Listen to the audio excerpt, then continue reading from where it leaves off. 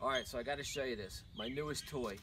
I have to do some post hole holes around the property and put some plants in. I usually get a post hole digger and I dig it out. So I was looking online for a gas one and they're about $170 all the way up to 300 if you want a four stroke engine. It goes up to six, seven, eight hundred dollars. And then I saw an electric one for 150 bucks on Amazon. And I watched some videos on people that had these electric augers. And I said, man, I got to try that for 150 bucks. So I bought one. I just got it in and you got to see this thing. I just tried this. I have a, a uh, trash can full of road salt. When in the wintertime, when the trucks uh, salt the roads, they usually dump some extras on the side of the road. So I pick it up and I've had this salt all, all year and it got some water in it and it hardened up like concrete. Take a look at this right here. Right here. This whole thing was hard like concrete. I was getting ready to take this whole thing and throw it away and start off fresh the next year. But I got my auger in and I drilled a hole in there and it went right through, but I gotta show you this. Now, I don't know what brand this is. It says Stark on here, but I don't remember buying that but they're all the same. It's a 1200 watt, 1200 watt, and it comes with a four inch bit. And this is what it looks like. And there it is right there. And you just plug it in. Now I went and did buy a 12 inch bit. This is the biggest bit they have. And this thing is huge. And there's the, the, the cutting blade there. But this thing is huge. I haven't tried this out yet. I'm gonna try it out in the grass. But take a look at this thing. It's pretty light. I mean, the motor housing is a little bit heavy on there. Um, and all I did is plug it in. So if you have an extension cord that can go around your whole property, um, this thing is, is pretty quiet. Now right there, look where that bit's gonna hit. That's that hard stuff right there. And I'm gonna show you what this sucker can do. Now this is the four inch bit, and it's got some nice handles. You hold it on here, and then right here, you just push this button and squeeze that trigger. And I have a generator, a Honda generator, and I can put the generator on my wagon and, and just pull that around. But watch this bit go right in here.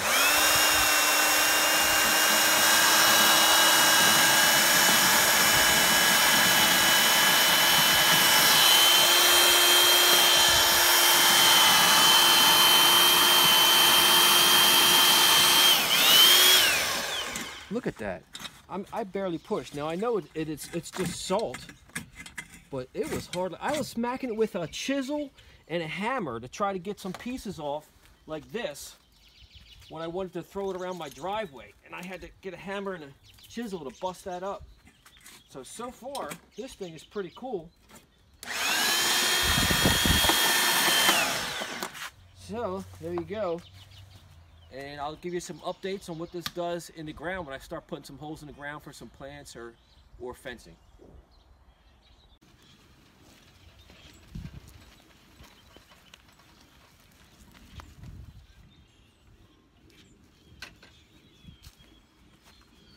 All right, YouTube, here it is. I'm gonna do an actual review of this thing and I'm gonna try and dig some holes. Now the whole purpose of me getting this electric one is because in my regular home here, I could run an extension cord anywhere on this property, a big long extension cord and dig holes anywhere I wanted to, so I didn't need to buy a gas auger. This one is the electric one, and my theory is with my Honda EU2000, that's a 2000 watt generator, I should be able to plug that gener the uh, auger into that generator with a little extension cord and drag it around anywhere I want and I could run it without running an extension cord. So when I go to the farm, I can put that generator in the back of my UTV and drive anywhere I want and just with the electric cord from the buggy I can just dig a hole without having to mix gas and then put fuel stabilizer in it over the winter time. I'm just figuring that little gas one might be easier for me um, without having gas cans everywhere. But what I'm going to do now is start up my Honda plug it up, and I'm gonna try to drill a hole with the four inch bit and then with that big 12 inch bit and see how it does. Now I brought my tape measure out here and I'm going to show you the length of this. And I'll tilt this down. Okay, so this is the four inch bit. And the four inch bit, you can dig 30 inch holes. This one, this is the 12 inch bit, and that's probably going to be the same thing. Well, a little bit less. Looks like maybe 28 inches. And it's only held in with a little cotter pin. So if you're wondering how you change these bits, it's not very difficult at all. Look right there, it's just a, a little cotter pin that just pushes through. And that, that's all that holds it. Well, let me start this up. I got my extension cord.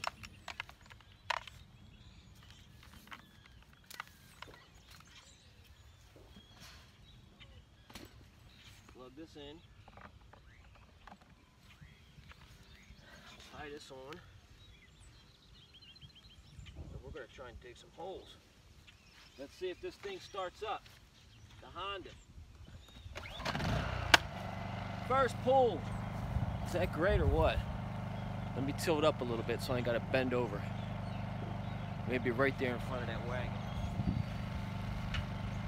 All right, I just picked up any spot in the yard to dig this hole. Now, full disclosure, it is March, so this ground is wet, it's soft.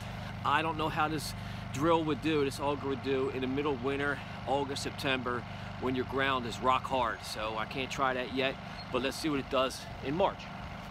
Because that's probably when you would plant stuff anyway, or dig holes. Who wants to do it when it's 100 degrees out? Now, nice handle here, and on this side, that's your trigger. And it has a little push button. You push the button, and it's turning. Well, it's working, and you can hear the Honda generator. It'll, the RPMs on the generator kick up higher to give you more power. So it has, they call it an eco mode on it. So on the generator, it runs at a really low RPM to use less fuel. And then as you draw more watts or amps, whatever one it is, out of the generator, it kicks up higher. So I don't know if you'll be able to hear me well, but just watch me dig this hole, I guess. So four inch bit, just any spot in the yard. Let's see what it does.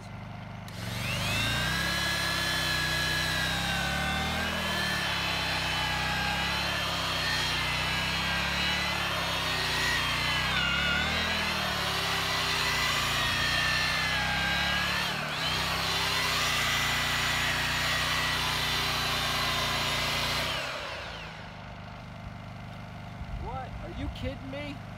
That was probably the easiest hole I ever dug. Now I did notice when I was drilling that hole, did you see the cord at the bottom? That's one thing I guess you gotta really watch is where your extension cord. Throw that extension cord right out of the way so it don't get tangled up in that bit because it was it looked to me it looked like it was hanging straight down below my leg. So when you're running an electric one, watch out for your cord.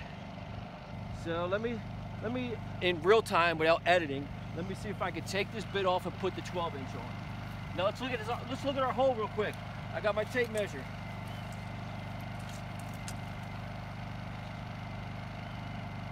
So I, I only went down 22 inches. It could go 30, but I didn't. I didn't push it all the way down in there. I could have. I guess I could have pushed it in further. And there's still some dirt down in the bottom of the hole that I didn't pull all the way out. So it probably went maybe 25 inches or something. I could have pushed it a little bit further. You probably saw it better on the video. All right, let's try to switch this up. I'm just bending this cotter pin straight. Boom.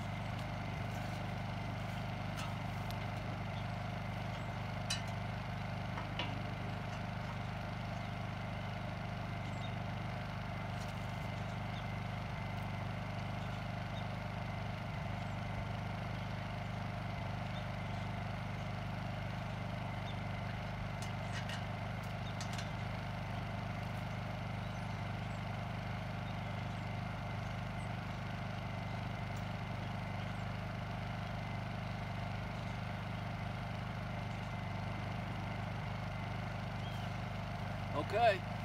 That was a bit change. How long did that take?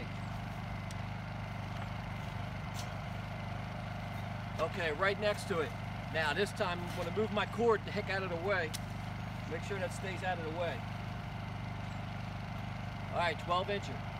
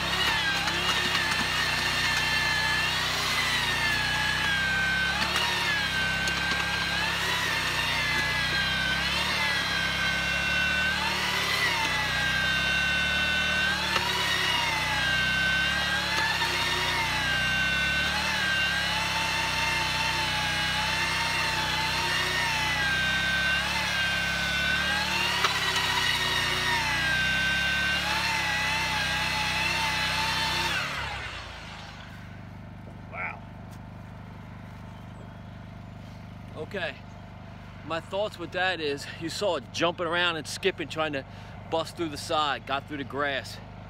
Once it got through the roots of the grass, then it started biting down into the dirt. And every once in a while I could feel like hit a little rock or something and it kind of like bounced around. It wasn't really difficult. I just kind of held this, keep it in the same spot. But I'm gonna tilt up and let's look at that hole.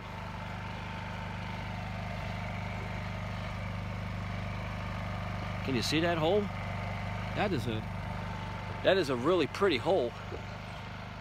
So that I'm pretty impressed. I don't know if I could dig a hole that perfect by hand. So what did it do here? We got a perfect 12 inch hole and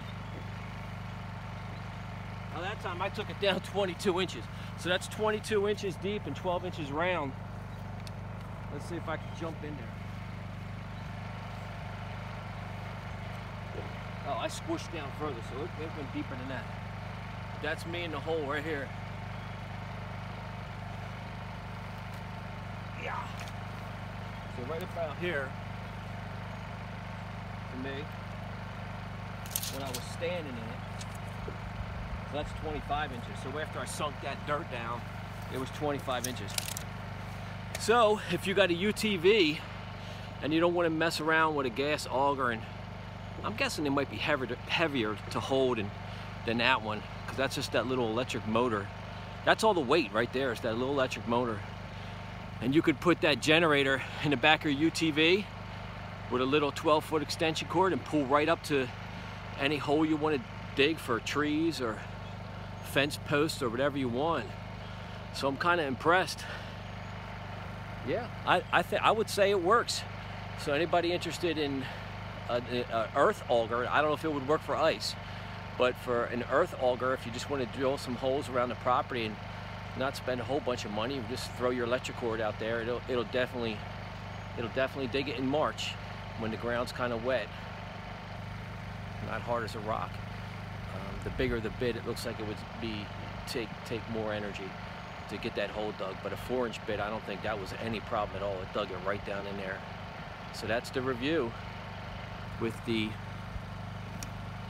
electric auger, the 1200 watt auger. I would give it a thumbs up for 150 bucks. So you don't have to go around with a post hole digger and you can see my fence. And there's a lot of those I gotta fix all the time and all my little trees that I plant everywhere and all those. Man, that took forever to dig all those. With this little four inch bit, I could have went wow, wow, wow and dug all those holes and been done in five minutes. So definitely worth it.